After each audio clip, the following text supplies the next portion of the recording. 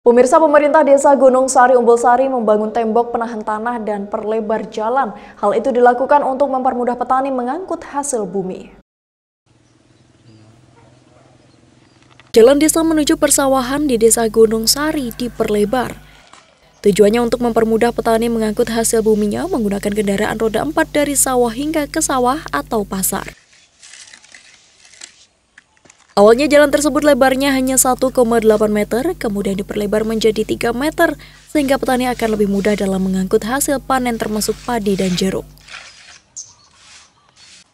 Kepala Desa Abdul Rahman Yusuf berharap masyarakat untuk merasa ikut memiliki sehingga ikut bertanggung jawab untuk menjaga dan merawat infrastruktur agar tidak rusak. Warga diminta untuk tidak menggunakan kendaraan yang beratnya melebihi batas tonase agar jalan tidak mudah rusak.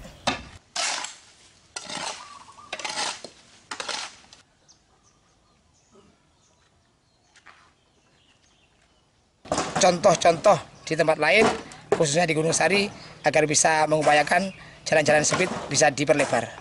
Dana yang peroleh dari mana, Pak? Ini terus terang dari DD, dana desa. Uh, yang kita bangun uh, 180 eh 280 ditambah 50 meter.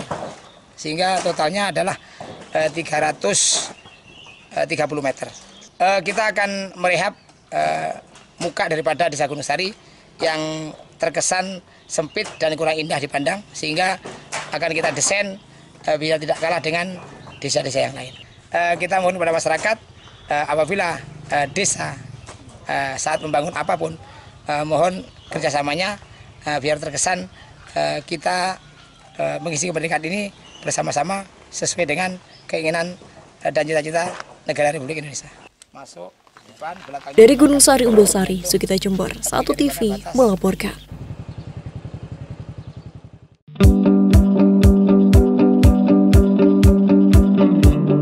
Institut Teknologi dan Sains Mandala menerima mahasiswa baru tahun akademik 2024-2025. Fakultas Ekonomi dan Bisnis terdiri dari S2 Magister Manajemen, S1 Manajemen, S1 Akuntansi, S1 Ekonomi Pembangunan, D3 Keuangan dan Perbankan.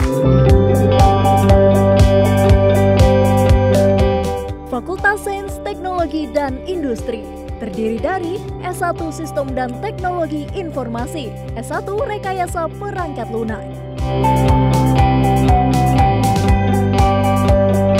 Jadwal pendaftaran gelombang 2 20 Februari sampai 30 Mei 2024. Gelombang 3 31 Mei sampai 21 Agustus 2024. Informasi pendaftaran 0821 4002 3227 atau 0812 5255 4205.